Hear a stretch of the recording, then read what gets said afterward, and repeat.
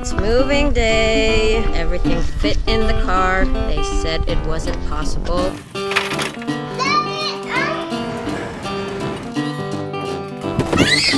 Uh, Come on, Gary. Y'all are not going to